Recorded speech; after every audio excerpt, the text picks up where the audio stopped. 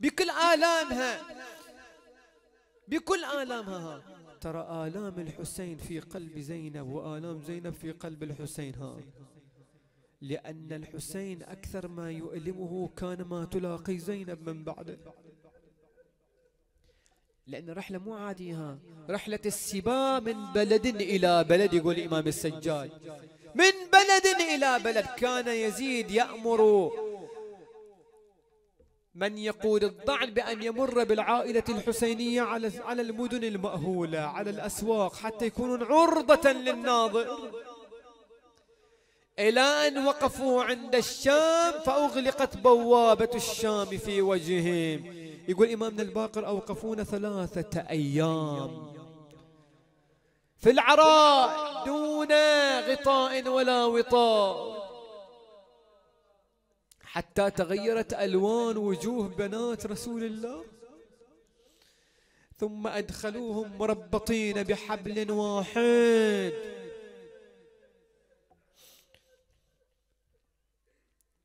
حتى قال قائلهم الحمد لله الذي أبطل أحدوثتكم.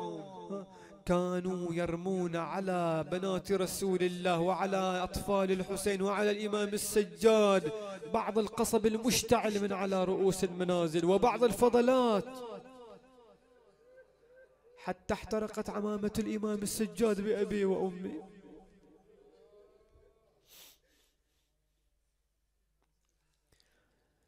تقول الرواية لما أدخلوهم في مجلس يزيد وكان مجلسه ها يضج بالحضور من وزرائه وأعيانه التفت يزيد فرحا جذلان مسرورا وأسمع زينب شتم أمير المؤمنين. وشتم أخويها الحسن والحسين. ورواية تقول حمل يزيد الصوت وهرول نحو زينب ليضربها. لكن طفل من أطفال يزيد قال يا يزيد لا تفعل. قال لماذا لا أفعل؟ قال لما خطوت نحو زينب تحرك رأس الحسين في الطش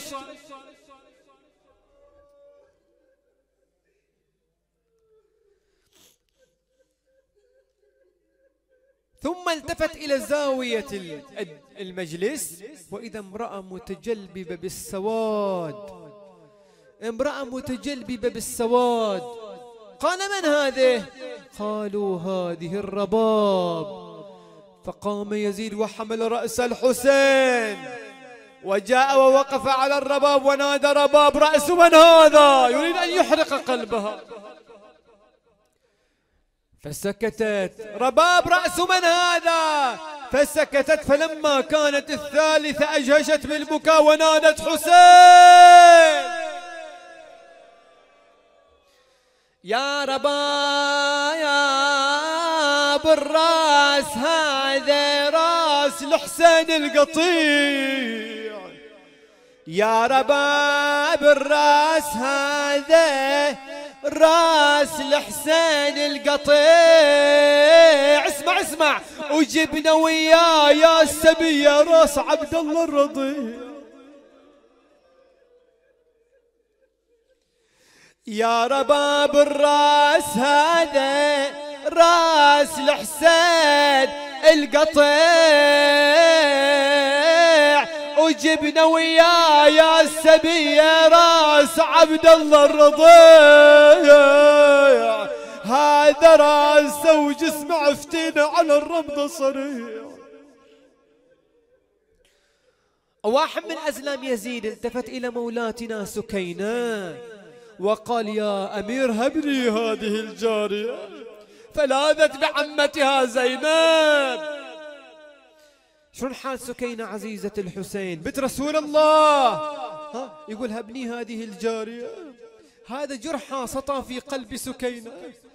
أسولف ضيم قلبي واحكي آلامي وخاف من أسولف ألطم الهامة ليش يا سكينة؟ قالت واحد قال أريد سكينة خدامة.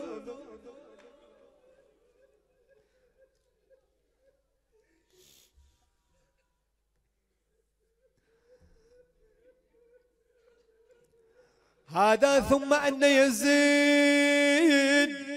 أخذ يري زينب رأس الحسين وهو ينكث ثنايا أبي عبد الله.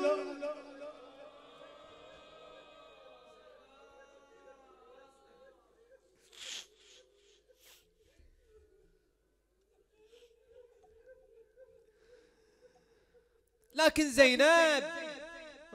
يزيد كان يظن أنه سيلقى امرأة مهيضة الجناح مكسورة الركن ها؟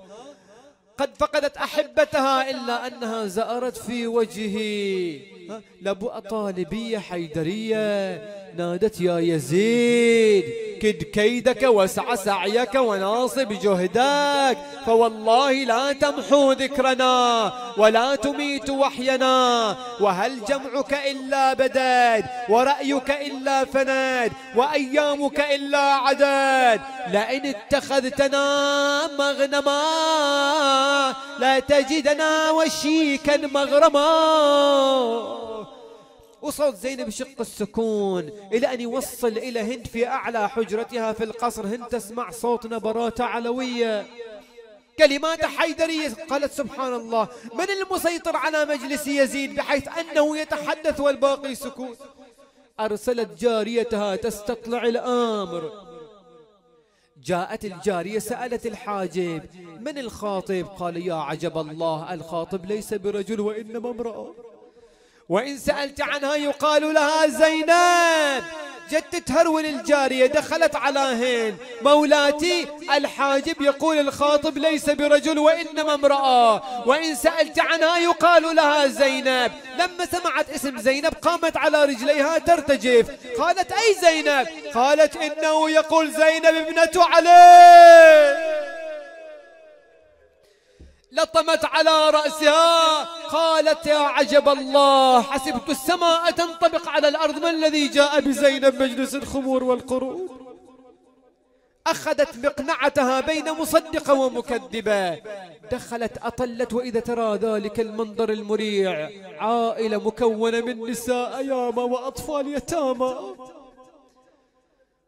دخلت رمت مقنعتها على وجه يزيد يعني مكشوفة الوجه لما رآها هكذا قام فزعا مذعورا أراد أن ينثرها بعباءته. ماذا فعلت يا هند؟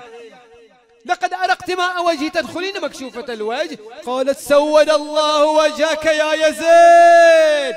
أتسترني وقد هتكت ستور بنات رسول الله. ثم انتحت ناحية العائلة الحسينية. صاحت أيكن مولاتي زينب؟ وين زينب؟ زينب اللي كانت تخطب الآن ببيان بجرأة وإذا بها طأطأت رأسها. ها؟ وسكتت ليش؟ لأن هند في يوم من الأيام كانت خادمة. خادمة عند زينب. جاوبتها أم كلثوم. إن سألت عني أنا أم كلثوم. هذه الرباب تلك سكينة تلك عاتقة تلك فلانة. وإن سألت عن زينب هذه زينب. ومن قبل كانت بفنا دارها. تحطل رحاله جاءت هند انحنت على زينب تأملت ملامحها لم تعرفها ليش؟ لأن زينب قد تقشر وجهها من حرارة شمس السباق شاب شعر رأسها أحدى ونبى ظهرها. صاحت أنشدك عن بلادك يا حزينة. من أي بلد قالت من بلاد المدي؟ من أي إسرى قالت الإسرى الأمينة؟ صاحت يا حرمة وضحي لي وعرفيني. من أي قبيلة قالت لها الهاشمية من أي الهواشم قالت لها علوية؟ بعد من نسب أمك قالت لها فاطمة أنت زينب أنا اللي في المدينة محجبين بالحال خرت فوقها تقبل قدمها. نوب تقبل إيدها ونوب تشم وتصيح انت زينب الشايع اسم. والله يا زينب سامحيني واعذريني. وردت تنادي يا يزيد شلون سويت؟ هل قلت لنا خوارجهم هل البيت؟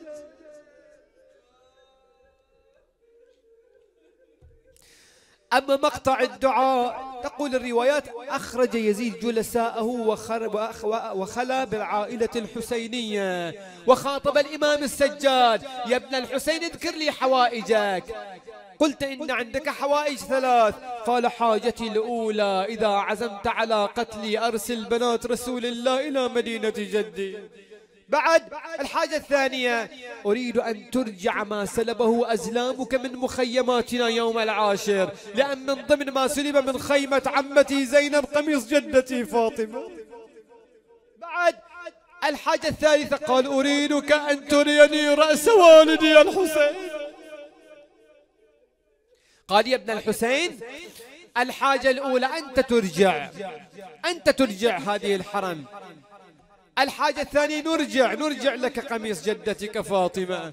أما الحاجة الثالثة فرأس أبيك لن تره ولن يراك. أتعلم لماذا منع يزيد إمامنا زين العابدين من رؤية رأس والده؟ أما علمت أن يزيد قد مثل برأس أبي عبد الله؟ أما, أما علمت أنه شق شفتي الحسين؟ أما علمت أنه كسر أضراس أبي عبد الله؟ أما علمت أنه قور عين الحسين.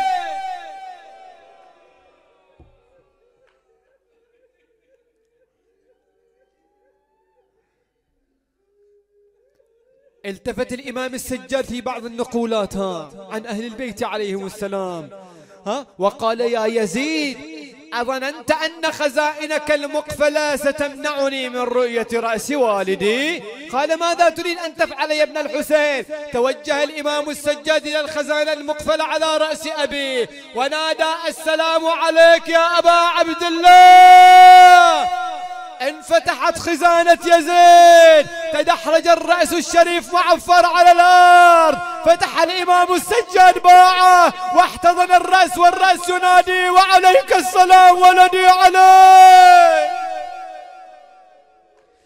ولدي علي ما حال جامعة الأغلال على صدرك. ولدي علي ما حال عمتك زينب. ولدي علي أين بنيتي رقية؟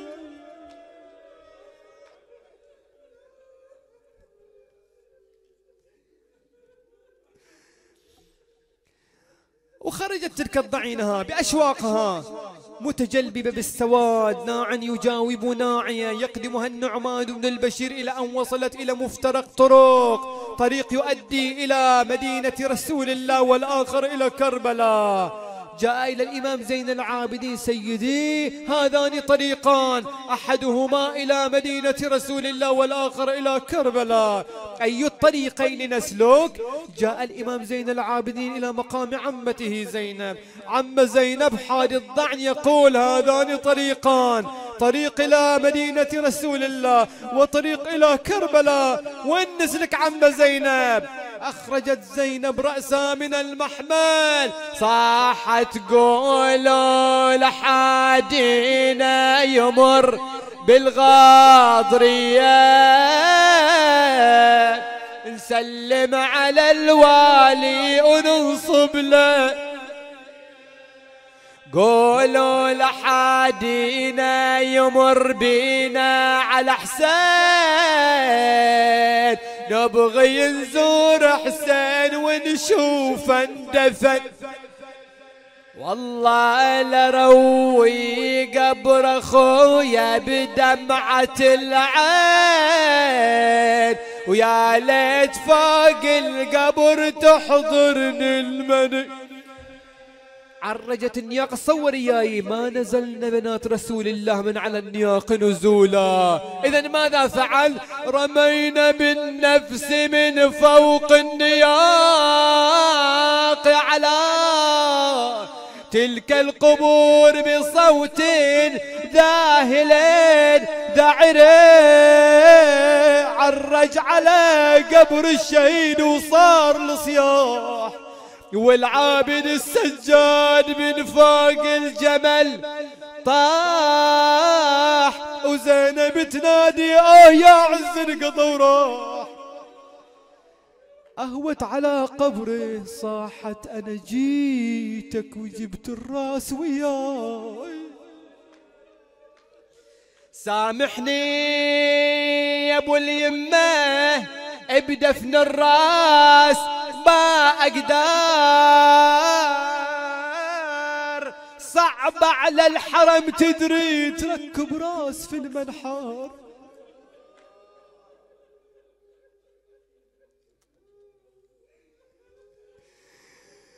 جبت مكور عيونه يا خويا وبالعصا مكسر رجعت أربعينك أزورك يا مذبوح وخافي على قبرك تفارقني الروح.